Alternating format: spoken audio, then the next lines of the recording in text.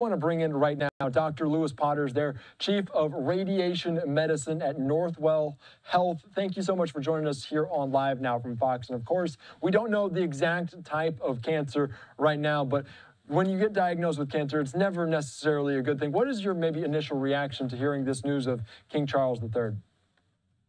So I think I think just like you and and everybody else, I think we we have to feel sort of sorry for him in the fact that he's been diagnosed with cancer, right? Nothing, nothing is more distressing for a patient, regardless of whether they're king or or just anyone, than being told that you have cancer. And um, and so we we certainly hope for the best for him, as we do with uh, any cancer patients uh, who are recently diagnosed.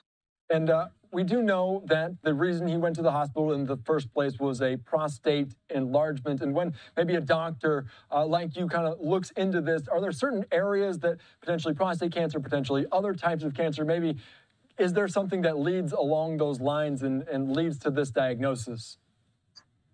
Well, so I think we, we want to be clear that we don't know exactly what type of cancer the, the king has. And um, it could really be anything. Okay. Um, in the workup of uh, the surgery that he had uh, for the benign prostate, it's possible that they discovered something at that particular time or at the time of the procedure for the benign prostatic hypertrophy, they may have discovered something. Uh, but because you need to have anesthesia in advance of a, of a minor surgical procedure that he had for the prostate, it's likely that something was picked up uh, uh, in advance of that surgery. All right, and, and, and when you're talking about benign and, and people don't necessarily know these terms, when you say benign, maybe what does that mean exactly? So apparently, and and we've been told that the the king had enlargement of the prostate, which is a benign enlargement of the prostate that impacts uh, patient's ability to urinate. Uh, and he had a procedure to, to relieve the obstruction of that benign or non-cancerous growth of the prostate. Um, and, and it was probably during the workup uh, in order to receive anesthesia that the cancer may have been discovered he still went ahead and had the procedure done, which was necessary to relieve the obstructive problems that he was uh, he was undergoing. But uh, uh, but now he'll have to deal with the diagnosis of cancer workup and treatment. Yeah, and obviously, like you said, we don't necessarily want to speculate because we don't know the exact type of cancer uh, that it is. But King Charles III 75 years old, and we know as you kind of grow older, potentially cancer and cancerous different uh, impacts different people's lives. Can you talk a little bit about just the demographics Is a 75 year old person more likely to get cancer? How does the, that line up? So we do know that um, based on press release, or at least information that the BBC has released, that this is not a prostate cancer. Uh, which is really what you would think, given the fact that he had a procedure on the prostate. And at times, the discovery of prostate cancer can occur when you're having treatment for relief of the benign or, or the non-cancerous growth of the prostate. But then you, you look at sort of the typical cancers of, uh, of patients who are older, lung cancer, colon cancer, clearly come up as, as number one and number two. Uh, and, um, and, and so it could have been uh, either of those two.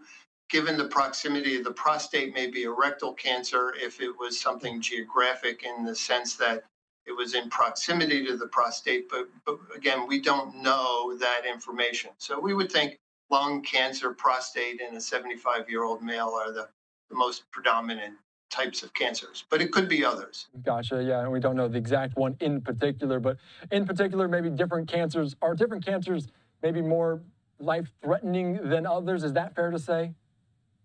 Oh, absolutely. There's prognostic factors related to each of the cancers. We know prostate cancer is is something that generally doesn't impact overall mortality to the extent that, say, a lung cancer does.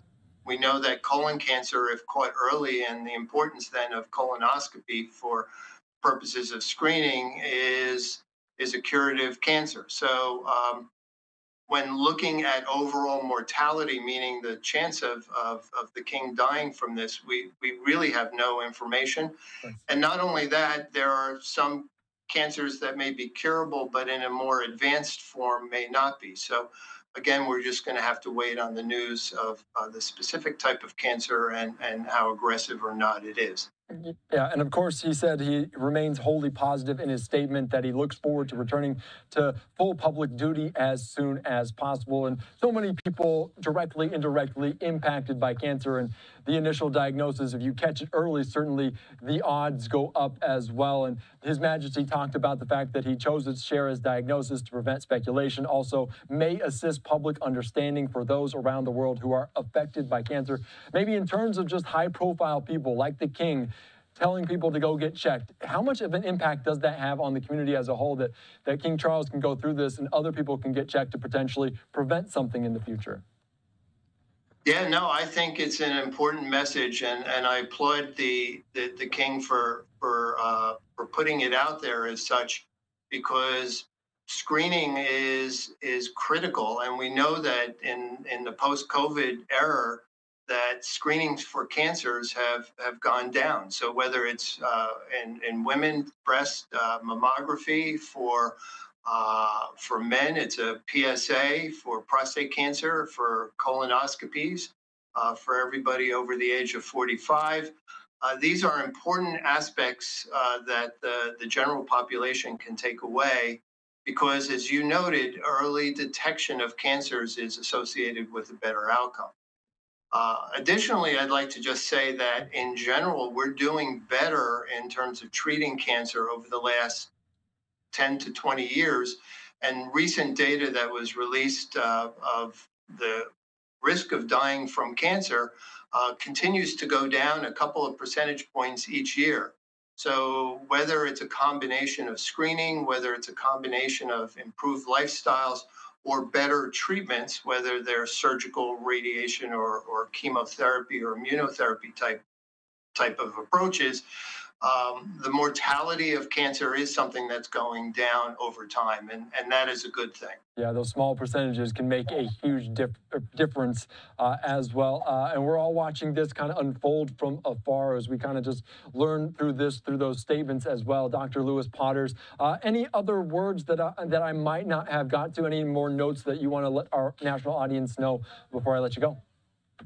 No, we just, you know, I think just like everybody else, we wish the best for the king, as we do with with any cancer that's uh, any any patient that's newly diagnosed with cancer and is going through the anxiety uh, of having to to deal with this and and to have to manage it. So. Uh, we'll just hope for the best uh, for him uh, going forward. Yeah, we wish him the best and the whole royal family as a whole, as it impacts so many there in the United Kingdom. Uh, and I don't think the American people have a full grasp on just how it impacts uh, everyone over there. All right, Dr. Louis, Dr. Louis Potters, thank you again for joining us. Have a great day. Thank you.